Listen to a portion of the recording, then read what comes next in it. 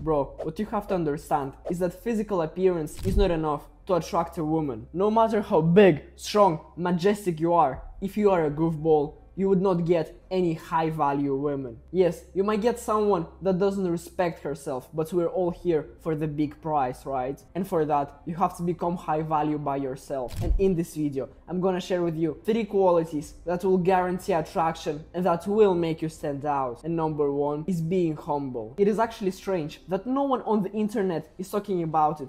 Even Hamza is telling you that you must show off, you must post on the Instagram how, how you're surrounded with 30 different women. Show that you have girls, show that you have money, and you'll be successful.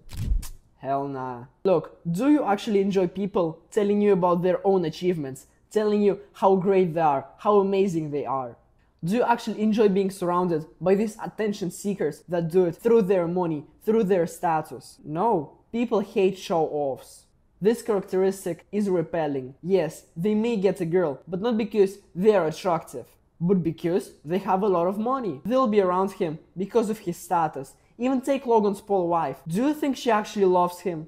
No, she loves his money and his position. This is why it is very dangerous to actually show off and tell everybody how cool you are. Because if you pull up in a Lambo to your first date, how can you be sure that she fell for you and not the car. And this is why it is much better to actually keep the mystery about yourself and not tell everything you have and everything you do. This is what will make you attractive. Because now she will actually want to investigate you and invest her time into understanding who you really are. The charm is in you not in your achievements. Now, every other trait works intact with this one, so if you're not humble, do not expect for the trait 2 and trait 3 to work well for you. But well, and now, number two on our list is you have good friends. Now, this one is not even for you to become attractive, but for you to level up in the first place. You definitely heard the saying that you're an average of five closest friends you have. You must also understand who are you searching for? Because if they are successful, it doesn't mean that they're happy. They may be rich, but they'll be miserable. First thing you must do is actually find yourself. Do you have a plan for the next two years? Do you actually know who do you want to be? This is the first step. Before you even go and try to search for friends, ask yourself, where do you need to go to actually meet these people? Because it is very rare that you'll find someone amazing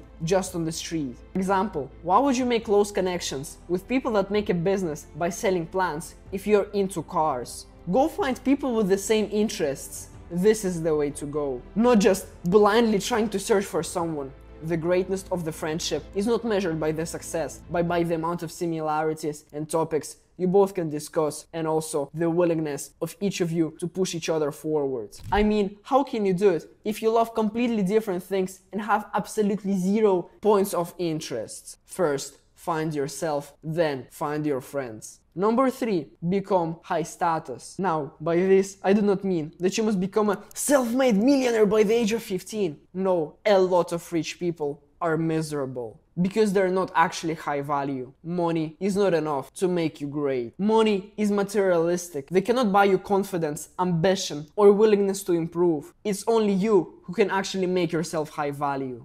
You must actually know yourself well. Do what you actually enjoy. This is the way. I'll actually make a video about this topic in the future, but what you must do is constantly investigate, try something new. Do not just live a life following money, live a life following your passion. Focus on the most important thing, yourself, not what people in the media tell you. What do you even want to do when you get rich? Have you thought about it? Buy exotic cars? You'll get bored riding them in about a month. Why do you actually need money? To buy pleasures? Why not make your life a pleasure from the beginning? Why not do something that you actually admire? That is how you become high value. Doing what you really enjoy and always being positive. This is what people like. So focus on these three traits and you'll increase your attractiveness and other people are gonna love spending their time with you. Subscribe if you enjoyed and see you soon.